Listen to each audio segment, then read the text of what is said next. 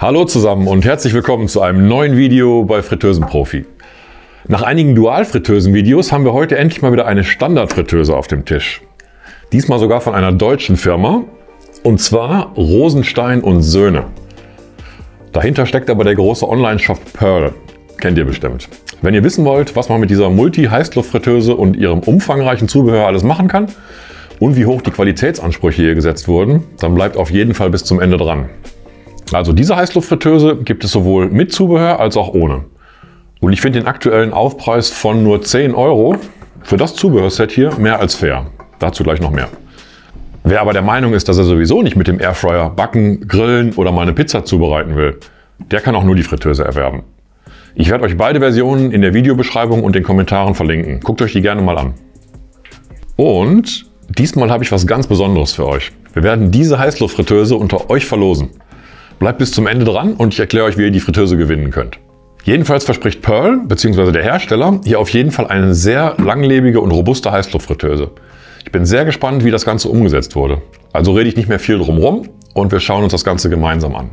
Kommen wir zuerst zum Lieferumfang und fangen an mit einer kurzen Rundführung. Hier gibt es auf jeden Fall mehr zu entdecken als bei den meisten anderen Heißluftfritteusen.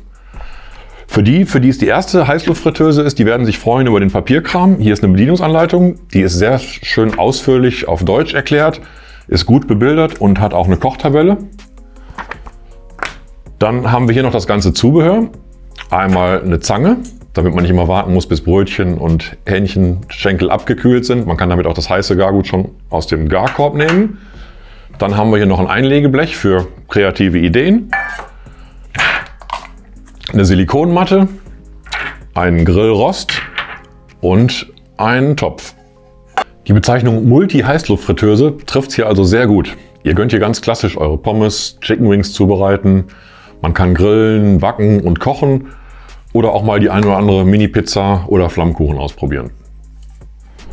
Kommen wir zu technischen Daten und zur Verarbeitung. Dann sind wir nämlich an dem Punkt, wo sich hier die Geister scheiden. Also das Ganze hat 1500 Watt auf 4,5 Liter Fassungsvermögen. Nur mal so als Vergleich. Die Cosori Dual mit 8,5 Litern hatte nur etwas mehr und zwar 1750 Watt. Also ihr könnt euch vorstellen, dass die 1500 Watt auf nur 4,5 Liter ordentlich Power bedeuten. Ich gehe auch davon aus, dass wir für Pommes ca. 15 Minuten nur brauchen werden, statt wie bei vielen anderen Airfryern 18 bis 19 Minuten. Aber dazu mehr im Praxistest. Hier sollten knapp vier Portionen reinpassen, also empfehlenswert für Haushalte für bis zu vier Personen. Wer darüber hinaus mehr benötigt, sollte schon zu einer Heißluftfritteuse mit mehr Fassungsvermögen greifen. Das Highlight an diesem Gerät sind aber definitiv die Maße. Mit ca. 33 x 28 cm nimmt die Fritteuse hier wirklich kaum Fläche ein und sollte problemlos auf jede Küchentheke passen. Rein äußerlich und was ich so fühlen kann, ist sie definitiv robust und sehr gut verarbeitet. Das kleine Ding hier wiegt 4,5 Kilo und das liegt selbstverständlich am Material. Hier wurde nicht an Qualität gespart und das Gewicht sorgt auch für einen stabilen Stand. Also, die Bedienung ist hier recht übersichtlich, wie ihr seht, und wurde auch sehr einfach gehalten. Eine One-Touch-Bedienung wäre hier natürlich meine Präferenz, aber dadurch verliert man leider sehr viel Platz. Die Temperatur und die Zeitbedienung, wie gewohnt, links und rechts angebracht. Und dann haben wir hier noch acht vordefinierte Programme, die ich euch kurz zeige. Wir haben Pommes, Fleisch, Hähnchen, Kuchen, Fisch, Shrimps, Bacon und Pizza. Die wählen wir hier mit dem Programmsymbol aus. Ne, kann man die einmal so durchsteppen. Und alle Programme haben eine Voreinstellung. Und die relevanten Programme sind meiner Meinung nach sehr gut abgedeckt.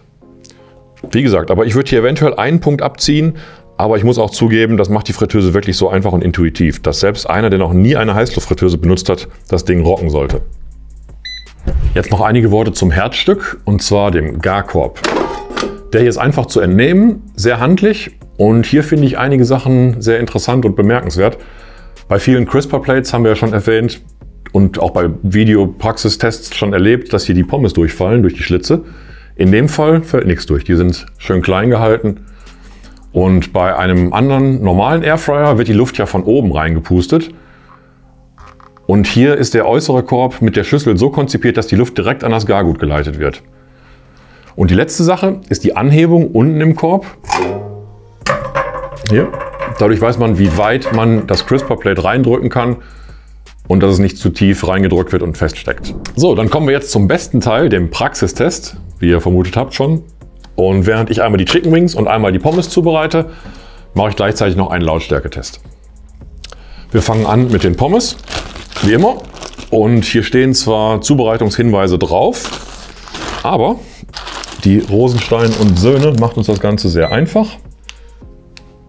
Wir wählen einmal die Pommes aus und schon haben wir die richtigen Einstellungen mit 200 Grad bei 15 Minuten. So, dass die untere Fläche gerade schön einmal bedeckt ist. Ups. Ja, das kriegen wir auch hin. Und los geht's. Dann mache ich auch gleich den schon vorhin angekündigten Lautstärketest. Dazu muss ich still sein, weil ich rede lauter, als das Gerät arbeitet.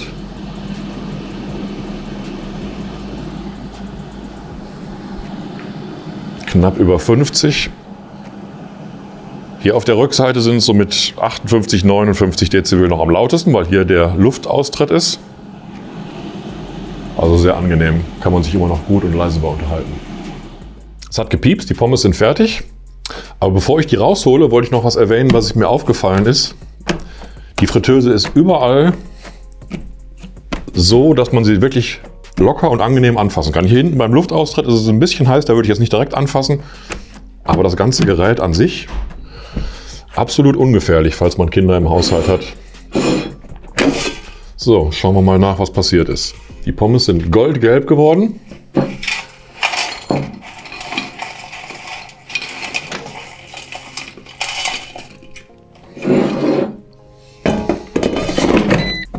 Ich teste mal ein oder zwei davon.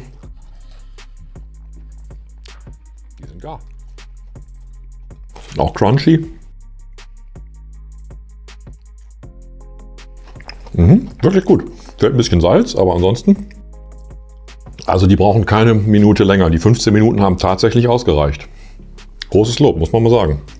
So, das war ja schon mal ein erster kleiner Erfolg. Dann kommen wir zum Praxistest mit den Chicken Wings.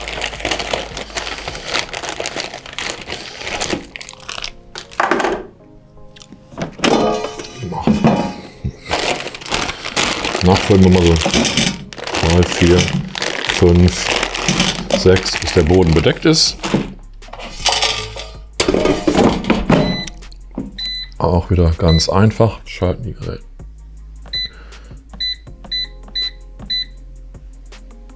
Jetzt blinken die Chicken Wings. Wir haben 20 Minuten bei 200 Grad. Super simpel und los geht's. So, unser Chicken ist auch fertig. Schauen wir doch mal, was hier aus der Rosenstein und Söhne so für ein Ergebnis kommt. Sieht sehr gut aus. Klingt auch gut. Hört man das Brutzeln? Nicht schlecht. Und jetzt werde ich gleich mal Gebrauch von dem praktischen Zubehör machen, damit ich mir nicht die Finger verbrenne und damit hier kein Fett rausläuft beim Auskippen. Sehr praktisch. Einmal noch hier aus der Nähe.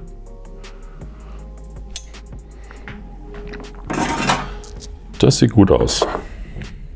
Jetzt werde ich aber doch mal einmal kurz die Finger verbrennen und einen davon aufmachen. Ja, bis zum, seht ihr das, noch schön weich und saftig und bis zum Knochen durchgegart. Das Fleisch löst sich leicht ab. Sehr schön. Zur Reinigung gibt es wie immer nicht viel zu sagen. Ich würde euch empfehlen, nach jedem Garvorgang die Crisper Plate in die Spülmaschine zu schmeißen, insbesondere wenn ihr Chicken Wings oder andere fettige Gerichte zubereitet. Den Garkorb einfach mit einer Bürste oder mit einem Lappen und etwas Spülmittel kurz abwaschen, fertig. Mein Tipp, einfach Backpapier verwenden, das erleichtert euch die Reinigung um einiges. Es gibt auch spezielles Backpapier für die Heißluftfritteuse, gerne mal abchecken in der Videobeschreibung. Zum Fazit kann ich hier nur sagen, die Heißluftfritteuse hat mir insgesamt wirklich gut gefallen. Sie ist sehr robust und langlebig. Der Garkorb ist sehr gut durchdacht, designt. Und natürlich gibt es auch Aspekte, die besser gemacht werden könnten, wie die Bedienung. Dadurch wären aber wieder Abstriche in anderen Punkten nötig gewesen. In puncto Leistung und Praxistestergebnisse hat die Fritteuse wirklich überzeugt. Die 1500 Watt auf 4,5 Liter haben sich in den Ergebnissen wirklich gezeigt. Ist schon ein kleiner Kraftwerk. Und es liegt bestimmt auch am Garkorb-Design. Der ist darauf ausgerichtet, die warme Luft direkt dem Frittiergut zuzuführen. Deshalb wurde auch alles sehr gleichmäßig und schnell gar. Auch das Zubehör lohnt sich. Für aktuell nur einen Aufpreis von 10 Euro kriegt man Zubehör mit Mindestwert von 30 bis 35 Euro auf Amazon. Ich empfehle diese Fritteuse für bis zu vier Personen Haushalte.